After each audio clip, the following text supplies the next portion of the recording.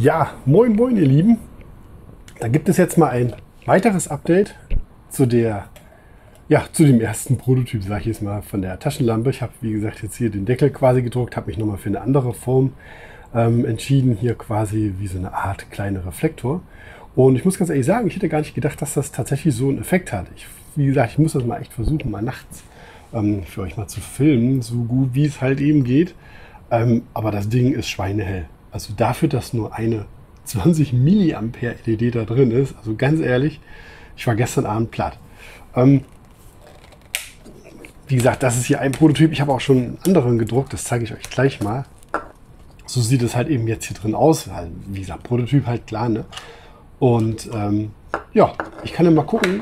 Also die LED hier drin mit der Schaltung von so einer Garten-Erdspieß-Geschichte hier in Verbindung mit dieser Solarzelle 2 Volt und diesen fetten Kondensator, diesen Superkondensator mit 350 Farad, wenn du den quasi tagsüber einfach in der Sonne liegen lässt, dann hast du genug Power, um den mindestens neun Stunden betreiben zu können. Also er hat, wie gesagt, wenn ich jetzt hier dunkel mache, er leuchtet halt immer noch.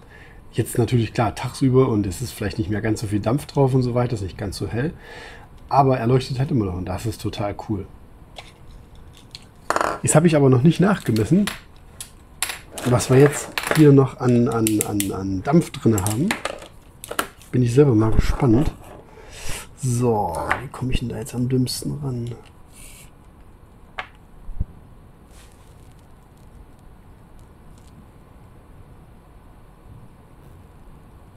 Ja, tatsächlich, nur noch 1,2 Volt. Krass. Das hätte ich jetzt nicht gedacht. Das hätte ich jetzt nicht gedacht. Also auf jeden Fall ähm, kann man jetzt festhalten, die Konstellation aus Superkondensator, aus dieser Solarzelle hier und dieser kleinen Elektronik, das scheint auf jeden Fall sehr gut zu harmonieren. Ich habe euch ja erzählt, ich habe ein verbessertes Modell gedruckt, weil, mal ganz ehrlich, ja, geht, ne, aber hm, kannst du jetzt so schlecht in der Hand halten. Also weiß ich nicht, also irgendwie ganz optimal ist das nicht da ist sowas hier tatsächlich schon etwas optimaler. Ne? Also ja, du hast halt hier immer noch so diesen, diesen kantigen Bereich, sage ich jetzt mal, hier drin. Ne? Ähm, könnte man natürlich auch umgehen, indem man halt den gesamten Durchmesser dieser Taschenlampe vergrößert. Ja, aber das muss ja nicht sein. Da wird die ja noch bulliger und die ist ja so schon, finde ich, jetzt relativ bullig, sage ich jetzt mal. Ähm, aber ist natürlich auf jeden Fall schon eine, eine deutliche Verbesserung, was das angeht, wenn man das mal mit dem alten Modell vergleicht damit die halt nicht, boing, damit die halt nicht umfällt, habe ich hier hinten dran auch diesen Fuß entsprechend gedruckt. So kannst du die halt hinstellen und musst dir nicht irgendwie Gedanken machen, dass die mal so wegrollt und dann keine, keine große Sonne kriegt. Ne? Ja, ihr habt es eben schon gesehen hier einmal. Das ist dann der Bereich hier, wo die Solarzelle draufgeklebt wird. Wie gesagt, die Aussparung hierfür dient einfach entsprechend für die Kontakte hier, dass die Solarzelle auch schön bündig da quasi drin liegt. Diese Öffnung hier, die ist nachher für den kleinen Schalter. Und ich habe es halt eben jetzt so gemacht, dass ich das quasi wie so eine bisschen Überraschungsei dann hier so zusammenstecke. Ansonsten ist das Prinzip genau das gleiche hier wie bei, bei upsie, jetzt habe ich es rausgezogen, genau, wie bei der Geschichte halt auch. Ne, die LED wird dann, wird dann hier vorne reingesteckt in das obere, äh, den oberen Teil quasi und der Kondensator, der kommt dann hier rein. Wie gesagt, ist genau das gleiche in grün, halt nur mit anderer Optik, sage ich jetzt mal. Ich muss einmal gucken, nicht, dass hier die LED in Kurzschluss kriegt. Wo ich das jetzt so dilettantisch rausgezogen habe. Ja. Geht. Naja, wie gesagt, ist ja auch nur ein Prototyp. Und ja, also auf jeden Fall wird das ganze Teil dann umgebaut. Das kommt hier rein. Und dann kann ich auf jeden Fall nochmal die weiteren Tests machen, weil äh, interessant finde ich halt das ganze Thema, ähm, ja, wie viel, wie viel, wie viel äh, Spannung kriege ich denn auf den Kondensator geladen, wenn ich das wirklich, wir haben wieder totale Sonne bei uns, ne?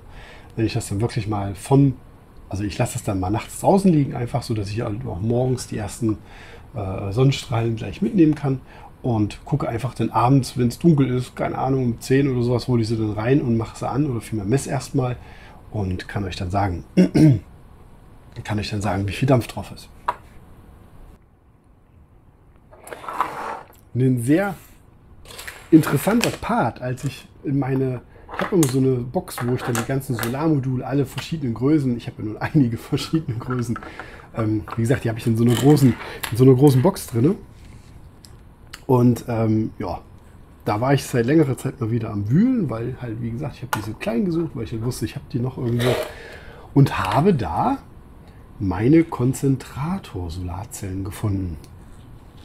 Konzentrator-Solarzellen war ja mal bis vor einigen Jahren mal übelst gehypt im Internet. Ne? Da würde normalerweise hier noch so eine Fresnel-Linse draufkommen, die halt wie so eine Lupe das Licht genau auf diesen Punkt hier, auf diese Zelle ähm, äh, fokussiert.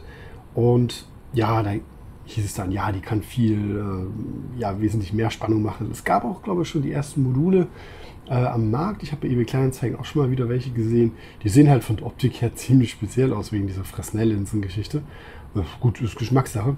Und ähm, ja, ich hatte mir damals, ich hatte mal Glück gehabt, irgendein YouTuber hatte mir mal einen Link geschickt, wo man die bestellen kann, weil die sind wohl gar nicht so leicht zu kriegen, wie ich das mal mitgekriegt habe. Und ich habe jetzt schon längere Zeit nicht mehr nachgeguckt. Wenn euch das interessiert, hier schaut einfach mal, gebt einfach mal SO13G ein. Also mehr Daten stehen da nicht drauf und ich habe halt auch nicht mehr Daten darüber. Also das ist tatsächlich alles, was ich habe. Vielleicht hat ja der ein oder andere von euch selbst diese Zellen hier oder, oder hat sie vielleicht vor kurzem erst gekauft und kann uns entsprechend hier vielleicht einen Link mal geben, weil der Link, den ich damals hatte, den gibt es schon ewig nicht mehr. Wie gesagt, ich habe die bestimmt jetzt schon vier Jahre bei mir. Hat auch früher, glaube ich, schon mal ein Video drüber gemacht, keine Ahnung. Ist jetzt halt bei uns wieder interessant, weil wir haben halt fiese Sonne und ich muss mir mal irgendwas drucken, dass ich da halt mal so eine kleine Zelle mal zusammenbaue. Ne? Da käme halt hier unten ran so ein kleiner Kühlkörper vielleicht. Ne? Und dann halt hier oben so ein Trichter, sage ich jetzt mal, wo dann da oben drauf die Fresnel-Linse kommt. Ja, wirklich wie so eine Art Trichter, ne? wo ich dann die Brennweite genau äh, abstimme, dass halt wirklich dieser, diese kleine Zelle hier, dieser Chip, sage ich jetzt mal, äh, beleuchtet wird. Und dann kann man das halt entsprechend so hinstellen. Der Nachteil natürlich ist, du musst es halt immer irgendwie der Sonne nachführen und ja, es ist halt auch schon auf, auf, auf direkte Sonne angewiesen, das ganze Thema. Ne? Also wenn du Schatten hast oder bedeckten Himmel äh, hast, ist das dann nicht ganz so optimal. Ne?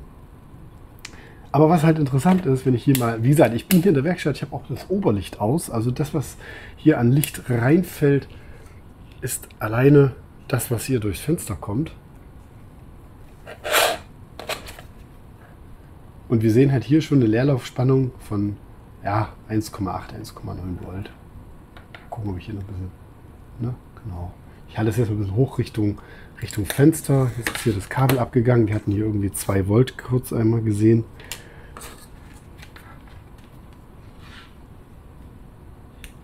Jetzt ist das andere abgefallen, das war klar. Wir haben 2 Volt einmal kurz gesehen. Ja, wie gesagt, ich müsste mir da jetzt entsprechend nochmal was drucken. Ähm, um das mal mit dieser Fresnel-Linsen-Geschichte auszuprobieren. Ich hatte halt kurz überlegt, was denn wäre, wenn ich halt anstatt ähm, dieser Solarzelle hier so eine Konzentrator-Solarzelle nehme. Weil ist natürlich wesentlich kleiner, sage ich jetzt mal. Ähm, hat halt natürlich den Nachteil, dass wenn ich das jetzt einfach so nehme, wie es halt hier ist, du hast halt hier keinen Schutz drauf und so, ist halt hm, nicht ganz so optimal, müsste man irgendwie mit Epoxidharz dann eingießen und so weiter. Naja, hat halt auch gewisse Nachteile, das ganze Thema. Ähm ich sehe gerade, hier ist ein Nupsi ab.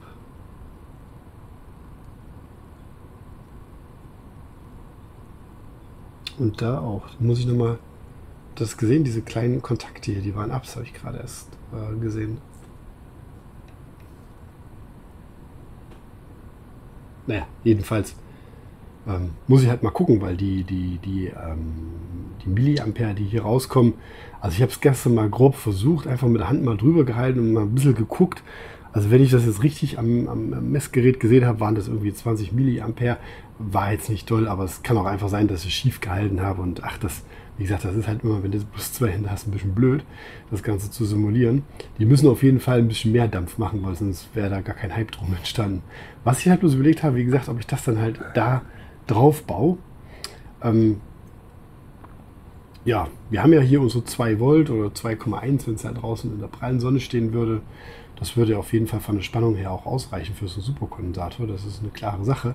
Nachteil ist halt entsprechend, wenn ich keine Linsenoptik verwende, habe ich dann halt entsprechend auch, ja, muss ich jetzt mal schätzen, kann ich jetzt wirklich nicht genau sagen, ähm, irgendwas um die, weiß ich, 10 Milliampere oder sowas. Das ist natürlich nicht wirklich viel. Ne?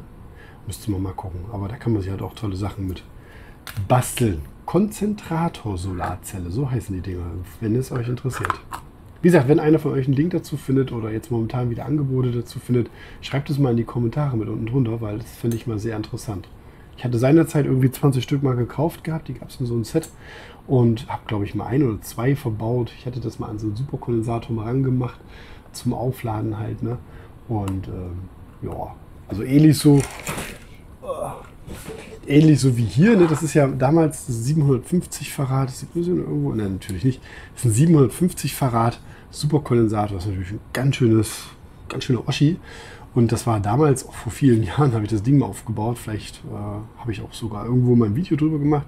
Habe ich dann hier einfach eine Joule-Tief Luftspulenschaltung quasi verwendet. Ähm, hier einfach nur einen ganz einfachen BC547C Transistor, einen kleinen Widerstand, ich meine 330 Ohm und so weiter. Und das ganze Thema Wars. Ne? Hier ein kleiner Klick-Klack-Schalter, entsprechend hier eine warmweiße LED und ein, was haben wir hier? Das muss ich selber mal gucken. 1, 2, 3, 4, naja, 3 Volt, 3 Volt Solarzelle. Bin ich ganz schön mutig gewesen. Jedenfalls, das Ding steht hier auch schon ziemlich lange rum und dann kannst du das halt als Taschenlampe benutzen, wenn du das halt benutzen magst. Na. Wie gesagt, und der Vorteil ist halt durch diesen Superkondensator, das Ding hält so ziemlich ewig, wenn du das halt äh, am Fenster stehen lässt oder sowas. Ne? Also von der Sache her ist das schon eine feine Sache. Und mit so einem 750 Farad Kondensator, da kannst du das Ding hier tagelang am Stück brennen lassen. Also da muss man sich dann keine großen Sorgen machen. Ich lasse es mal hier einfach laufen. Genau, das ist mein kleines Update. Wenn ich das hier alles zusammengeschustert habe, dann melde ich mich nochmal zurück, weil ich muss jetzt ein bisschen ins Aquarium mal wieder was schneiden. Sonst äh, kommt gar kein Licht mehr unten an. Das ist ein wahrer Urwald. Deswegen, da muss ich jetzt mal unbedingt ran. Ja, würde ich sagen. Wir sehen uns dann beim nächsten Video und macht euch noch einen schönen restlichen Sonntag. Und ja, habt eine schöne Zeit. Bis bald wieder. Macht's gut.